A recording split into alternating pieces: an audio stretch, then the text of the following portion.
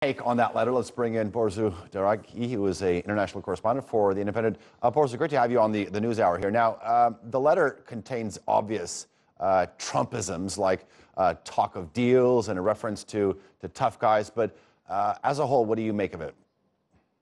Well, I actually think that the uh, government of Turkey and Recep Tayyip Erdogan himself, they know Trump enough and uh, have you been used to his kind of more, uh, uh, let's say, eccentric mannerisms that they kind of look past the, you know, don't be a tough guy, the, the kind of Goodfellas style talk. But I think what really uh, was the uh, the issue in this letter, according to people I've spoken to in the diplomatic community in Turkey and analysts are in touch with the Turkish government, is the suggestion that Erdogan and the head of a militia uh, that the uh, uh, Turkish government considers a terrorist organization meet and broker a deal. The head of a state that is a G20 member and a, uh, a group that Turkey considers an outlaw uh, organization uh, that is a, a, a, dire threat to its stability and security would meet just like that.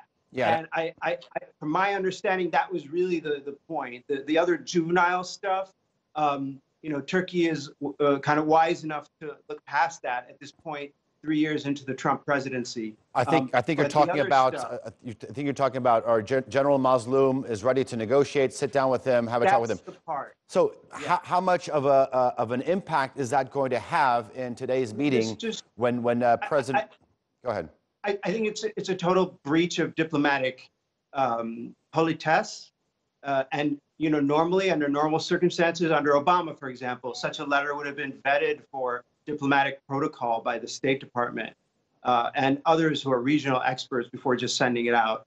Um, but I also think that the letter betrays a complete misunderstanding of the depth and severity of Turkey's um, attitude towards this uh, organization at its southern border um, and that this has been going on. There's like little understanding that this has been going on for three years. That the Turk that Turkey has been complaining to everyone uh, uh, about the the the nature of the Rojava experiment for three years now, four years, constantly.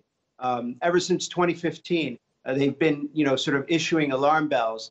Uh, warning, giving threats, uh, uh, and everyone has been saying they've been bluffing and so on. Um, and this letter is like, you know, why don't you just sit down with this guy and work out a deal? I'm sure you're going to have a great deal.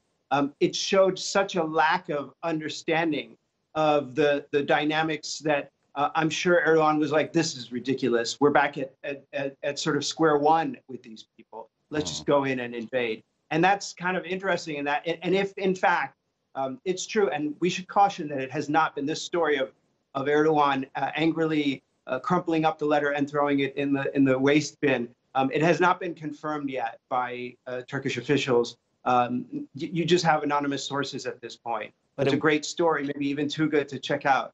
Uh, but it has not been 100% confirmed. But you know, regardless of that, um, this letter might have shown such a, a, a disregard for Turkey's security needs that uh, I'm sure that that was the, the trigger that, that caused Turkey to launch this intervention at 4 p.m. on the same day that the letter arrived. Exactly. Borzou, now the letter to President Erdogan uh, wasn't the only highlight of, of Wednesday. Not only did he apparently hand out a physical copy of the Erdogan letter to congressmen, uh, but Nancy Pelosi led a walkout uh, from the White House, and then there was a sort of a he said, she said. take a listen. I want to get your reaction about it is I, I, pray for the president all the time, and I tell him that I pray for his safety and that of his family. I think now we have to pray for his health because this was a very serious meltdown on the part of the president. Uh, I, How concerning is this? I mean, I think this is just uh, them dissing each other, and then Trump uh, said a similar thing afterwards, saying that I'm concerned and I pray for Nancy Pelosi. This is just the uh, uh, uh, politics in the U.S. and you know the, the nasty politics in the U.S. And I think that also, you know, with regard to this issue of Syria, um, and there's one important thing that we should keep in mind.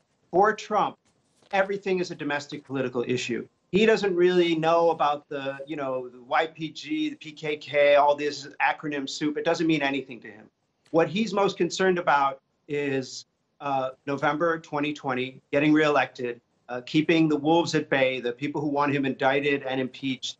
Uh, he is a you know cornered animal basically, Um and he's struggling to hold together a very unique conservative coalition. Uh, one side of that conservative coalition wants out of the Middle East and its various wars, and he's sort of pushing for that on the one hand. And then another side of that conservative coalition wants to confront Iran, wants to, you know, maintain uh, America's premier role in the world, and so on. And so then he applies sanctions to Turkey to appease that faction.